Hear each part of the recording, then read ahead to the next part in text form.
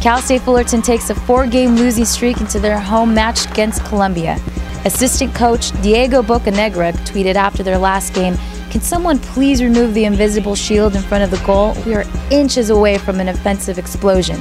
They lost to LMU 1-0 after outshooting them 19-3. That invisible shield comes into play in the set piece in the first half. Kishi Smith crosses the ball in the box. Lillian Klein stops the shot. Caitlin Milano is there for the rebound, but just can't find the back of the net. Game remains tied. Later in the second half, Erica Mazot finds Rebecca Wilson. She's in the box and rips the shot, but Klein again comes up big. And the game is tied at zero. Under a minute left in the second overtime, and Wilson, surrounded by four defenders, squeaks the ball to Kishi Smith, who puts the ball in the game away.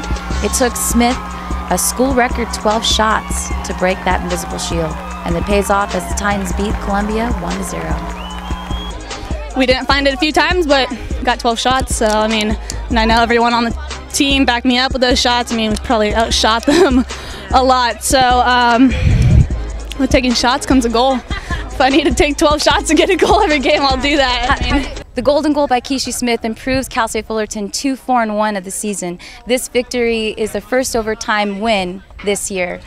From Titan Stadium, Ashleigh Correa, Titan Sports Recap.